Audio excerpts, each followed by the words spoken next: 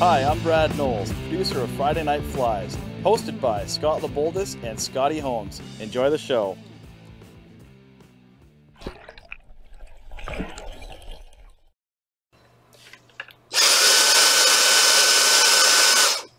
You're probably wondering what the hell I am doing with this Dyson portable vacuum. Well, anybody that works with rabbit strip would know what I'm doing with that Dyson. The big thing with uh, rabbit strip, it seems to get everywhere. I had a coffee, and I don't know if you can see into this or not, but I just got water, and just sitting here for two minutes, I got rabbit hair all up in my cup. I'm gonna have to clean that thing out real well. I got myself a brand new flat brim today. Looking sharp. Looking like a million bucks. Anyhow, it's been uh, it's been a very festive season for here for uh, the the team at uh, Pemberton Fish Finder and Friday Night Flies. We didn't do too much tying over the the winter celebratory season because, as you all know, we all have families and we all have real jobs, and it's a hectic time of year. I had a lot of family over. And uh, hey, if I can't go, nobody goes.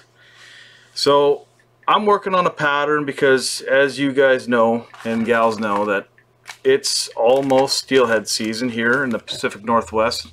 The guys that have been up north have been fishing them quite a bit and our season is just around the corner and we're pretty excited about it. Um, hopefully we don't have any audio issues. Has anybody checked that? And is anybody checking? We're not having any audio issues. Hey, that's got to be a first. That has got to be a first that we haven't had any audio issues. But anyhow, I've been working on a pattern last week. This week I've kind of just implemented some real fishy color. Let's go down to camera four. Does it look okay with the colors that I got behind me? Because I know Johnny had a black shirt and I couldn't see it. But anyhow, you can't tell me that that thing is not going to be gobbled up by either Chinook or Steelhead. I know for a fact that this thing's going to get gobbled. So what I've done is use a lot of rabbit strip. And I got lots of it laying around right here because my good friend John Horner brought in a, like, uh, well, I'll just give you an idea. He brings in, let's go back up to camera three for two seconds. Camera three. Are we back up to camera three? These are bags full of rabbit strip. he showed up and it gave me goosebumps because man honestly I've I don't think I've ever seen bags of rabbit strip like this before in my life. So needless to say he's going to be leaving with a, a, whole lot less than he came with. And uh, I'm going to get busy tying a few different colors. So right here I've got the combination. We're going back number four. We're bouncing all over the place but for a good reason. What we've done is impl implicated uh, some silly legs in chartreuse and these ones and they come in these big strands you can probably see them in the back there. And uh, whenever you're going with Chinook or steelhead they kind of like being broke up into a couple different colors. Um, it just gives them something to focus on and it's and it's highlights you know? So I put a little bit of chartreuse in with black. So if you're working murky waters the darker colors seem to work better. And when you're fishing clearer water the, the brighter colors seem to be working better. So I, I give them a couple tones. So the pattern I'm going to work on from this one here is because I, I haven't fished these that much yet and I, I really have to do my homework. And while I'm tying for you fine ladies and gentlemen out there, I'm going to do my homework. So this next one that I'm going to be tying today is going to use black in the body. I'm going to use some different colored silly legs, two tones, so blue and pink, which are also very fishy. And then I'm going to put a pink head on it and I'll show you how easy this is to do. So with this one here, for the head for a dubbing loop, I tied in ice dub and chartreuse. I really like how ice dub looks. It's got a lot of color and when you uh, velcro it out, it really flows together too. So I mean, the more you flick it out with the, the velcro, it makes the fly look a lot more streamlined. And like I said in the description, the best way I've found catching steelhead and chinook is either swinging flies, you can poke them down in the bottom end of a big hole in a trough in the tailouts or in the head of the holes, but then also you'll do well by just dead drifting these big fleshy patterns. Um, try both, man. I mean, that's the thing. If you're not getting them one way, swap it over, try it a different way. And then you're going to find out what works. And when you do find out what works, make sure you call your good friends over at the Pemberton Fish Finder at uh, Friday Night Flies and give us the GPS coordinates to all your great fishing holes. And uh, we promise we won't tell anybody, okay? So anyhow, let's get to tying this beautiful fly today. I've only tied a few of these, but they're, they're actually quite simple to tie. What we're doing, what we're tying these guys on is a Mustad SL73UBLN-36890. I don't know where they get the product codes, but what it is is a 2 watt salmon single, and that's the, the hook itself right there. So if, and you can see I've got a steady hand like a surgeon. So let's get to tying this fly.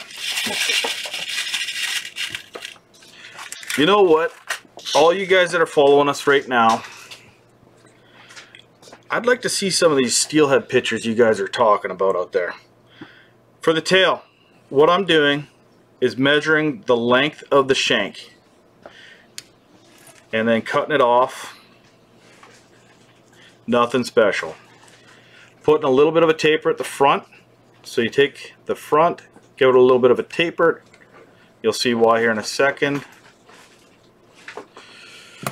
Taking the hook, hook, and what I'm going to do is just where the taper comes back to the meat, I'm just going to push the hook down through it. it. Makes it easier, like I got a wood table here that I'm tying on, and then just pull it up. So you're going to tie this fly so it's inverted, so it's coming down along the bottom like this. So when you put these big dumbbell eyes that I've got here, they're, they're like all I got to pick them up. They're that heavy. It's going to ride upside down and clank on these dumbbell eyes so that you're not hooking bottom. You want it down on the bottom. At that point, we're going to light lay this guy in the vise. Square it up as much as you can. Hopefully everything's still focused for y'all. 3-aught pink uni thread we're going to get a little bit of a base down. How's everything looking there, cameraman? Looking good? Yeah. You're not going to worry too much about what it looks like underneath here. But uh, the biggest thing is you just want to put a little bit down, something for it to kind of bind to. Cut off your little tag ends here. So you can see how you got a taper on this hook. You don't want to go too onto that taper or your tail is going to look really messed up. So you want to leave it kind of up on top, get underneath that little nub, and you're going to lock this guy into place while keeping this rabbit strip in the back straight up and down. It doesn't matter if you spin a little bit of that hair because you're going to see here real quick that you're going to spin a lot of hair on this shaft, shaft of this hook. Yeah, I did say shaft. Oh, yeah. Guys and girls back there, look, he said shaft. So now, we got these two-tone rubber legs, or silly legs. I'm just going to break these apart. And you're pretty well going to split it right down the middle. There's no such thing as a perfect fly. You're going to put three down one side three down one side and just hold it there with your thumb. Bingo bango. Then you're going to take it over to the other side, tie it in, same thing, down that side. I'm making this look really easy, but the reality is, is that this is a very easy tie. Should be able to pound these out pretty quick. Okay, Hopefully you guys didn't see me. I have my tongue stuck out there again. When I'm concentrating, that's what happens. Okay, so now we'll go back to the rabbit strip. In a rabbit strip, you'll see the hair flows to the back. That's where you want to tie it at that end where it's flowing. And then you can see how thick this is. I'm just going to cut a little bit of a taper into it by poking in underneath. Bingo. It's like rawhide. It's real thick stuff, this uh, this rabbit strip. Well, I guess it is rawhide. And then uh, what I'm going to do is just get a little bit of a taper in. Tongue out again. Good job. And then I'm going to tie it facing forward. Just like so. And we're live at Spud here we got people coming through the door. Okay, so we're tying it in. Okay, tie in nice and tight. And the tongue is just a what we're going to do is just kind of taper it down a little bit with the thread. And at this point, what we're going to do, now that we got this, you can see the taper is nice and smooth here. We're going to go up to the eye of the hook here. You can see that with these salmon singles, there's a, a step where the overlap.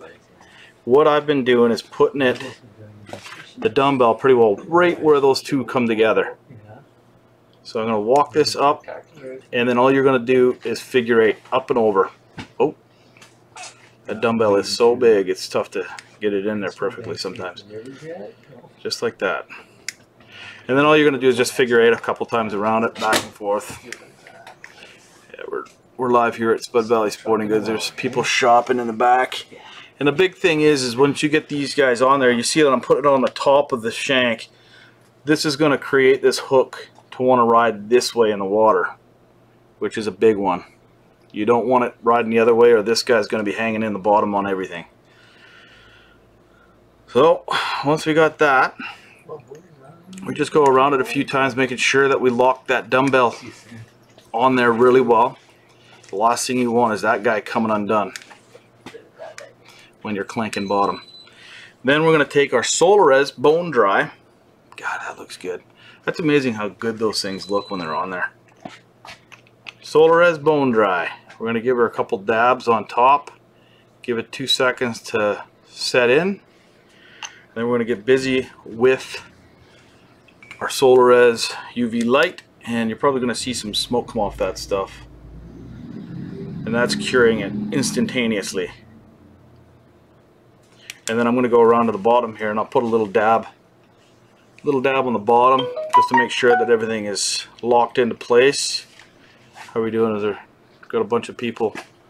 There's nobody on the uh, controls right now, so if you're leaving comments, uh, probably won't get back to you until we're done tying this. Uh, John Horner's got a couple really good patterns for us after this, and uh, I'll be on the camera answering your guys' questions.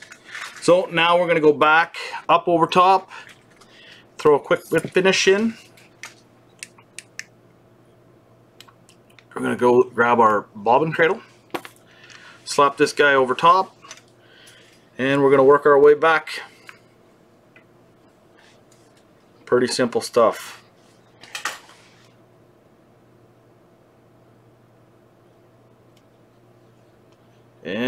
Back we go. You're seeing how quick and easy that is. That's why I love this stuff. It is so easy to work with. So now, take that uh, thread back off the bobbin cradle. So if we got a little bit of shake in there. Back up over the top, and all we're going to do, wiggle our way through this fine fur, locking it into place. Last thing you want is that uh, rabbit strip now to come undone. And then we're going to take our scissors, nip this one at the butt, pull this guy back a bit. I want to make sure that that rabbit strip is locked into place nice and pretty like.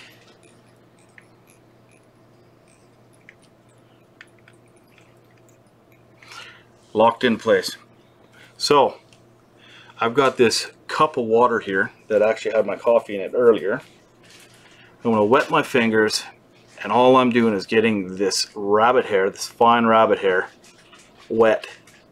Because for the next thing that I'm about to do, it makes it a whole lot easier. Because if you let that stuff get all dry and up in your dubbing loop, it's going to make a whole new nightmare for you. So I'm just getting these wet fingers all up in this fine rabbit. Okay, See how it's laying nice and pretty now. So I can get that water back out of the way. What I'm going to do is create a nice big dubbing loop. It's better be on the big side than on the small side, especially when you're doing dubbing loops. Last thing you want to do is not have enough material to fill in the head and build your head up and then be stuck improvising. So now I've got, uh, this is Spirit River Lightning Dub FL Shrimp. So I would prefer to, uh, to tie it in the uh, Hairline Ice Dub in the FL Pink. But this is just what I had and this is what I'm going to use. So as I'm pulling it out, I'm kind of fluffing it up a little bit. You're going to put a fair amount of material in there, stretching it out a little bit, kind of matting it together.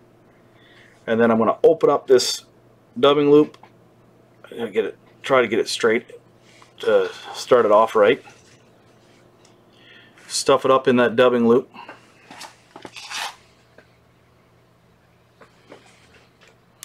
That's nice and buggy stuff, bud.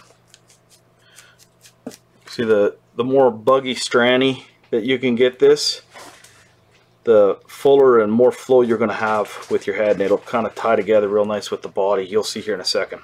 Alright, so I got a lot of material in there. All you're going to do, give this thing a good spin. Nice. Get it tight because you don't want it undoing. And then once it's all spun up like it is right here, you can see, hopefully, good cameraman, can you see that? Looks good? Okay, we're going to take our Velcro strip. All I'm doing is just trying to pull a little bit of the trap fibers out of this dubbing loop so that when I spin it up, it's going to uh, fill out nice and flow.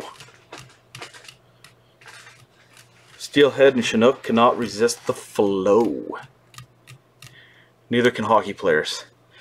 So, now that we got this all good, I'm going to uh, just leave that for two seconds, throw a whip finish on the head here, put the bobbin back on the cradle, and we're going to finish this head of this beautiful Chinook steelhead fly. So now we're just using the rotary features, just going to build it up a little bit. We're going to go in behind, in front, building it building it up as we go. Back across in front. Look at how this is coming out man. Is that not looking good John? Yeah buddy. And then we're gonna put one wrap in front just like that. Honestly I think I nailed it for for that dubbing loop I've got just the right amount of material in this head for what I'm trying to achieve here right now it's looking pretty bugged out fuzzy. And I'm just trapping the the loop, the dubbing loop, and then I'm going to cut the last of it off here. What you're going to do at this point is try your best to pull most of this material back and then finish off your head. Nice and simple. If you got other colors of thread, like red is really nice for Chinook flies or steelhead flies. I like to tone a different color in there than what I did. I put pink on pink, but that's just what I had in my uh, bobbin. Didn't really think that through too well. And we're just going to clean a little bit of the loose stuff up. Nothing worse than a dirty head. You want to keep your heads looking nice and clean. And taper them. Okay, a little whip finish.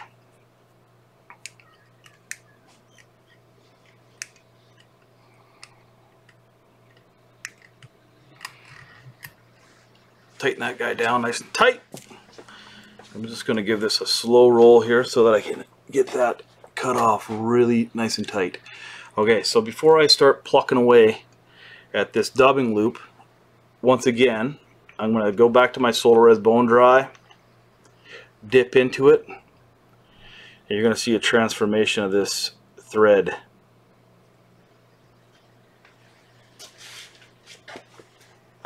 Making it glass. Making it last. Making it look good. We're going to hit it with the UV Solarez light that's going to cure it instantaneously. I'm really looking forward to fishing these patterns, Johnny. Now, looks like a wet rat. Now, just wait. You're going to see the transformation here. Here we go. Making magic. Make the magic happen there, big bad boy. Oh, look at that thing start to come together. Actually, you know what? That actually looks pretty good with that. Uh, I've been kind of adjusting to how the uh, how that uh, ice dub looks, but this is pretty strandy, buggy looking stuff. You can see. So now, what you got here, some nice silly legs in the back, rubber silly legs, two-tone fly that's meaty, chunky, sexy. And one thing I'm going to tell you is if you're chucking this pattern, hang on to your rod nice and tight because no joke, Chinook and Steelhead both hit like freaking grease lightning. And the last thing you want to do is see your rod fly out of your hand and torpedo along the water skipping, following a big fish. So we're just going to give this one a little bit more touch up with the Velcro strip. Here you can see, I'll give it a slow roll. Tell me what you think, guys. Leave the comment in the, in the box below. Have a look at that. You're telling me that fish aren't going to eat this thing? It's got me licking my lips. Anyhow, Chinooki, time fly. So let's go up to the uh, camera four or three. Is it three? Okay, that's a pretty simple pattern that we were tying there. As you can see, just wrapping uh, rabbit strip, pretty well zonker strip on a big a big shank on a size 2 single salmon hook by Mustad. Super simple, looks super good man. Meaty look forward to some pictures with a uh, fish with that sticking in the side of its mouth. Anyhow, it's uh, it's almost that time that we uh, start looking around for some steelhead here down in uh, Pemberton, Squamish area. And uh, I know the guys down in Vancouver or in Chilliwack are starting to get a few on the Vedder and the Chilliwack River. I guess it's kind of the same river. Some guys will probably tell you it's different, but uh, and then I know over on the island the guys are starting to get a few nice fish over there too. So anyhow thanks for watching i know uh, johnny horn dog horner he's got a he's got a couple real nice flies for you i'll give you a quick taste test look at this look at that intruder ladies and gentlemen you're going to want to stick around for this but uh, like i said earlier that's the uh, the chartreuse version of the same fly that I just tied. And uh, leave us some comments. Let me let me hear from you. Let's see some uh, steelhead pictures some Chinook pictures. Signing out with that. Camera 5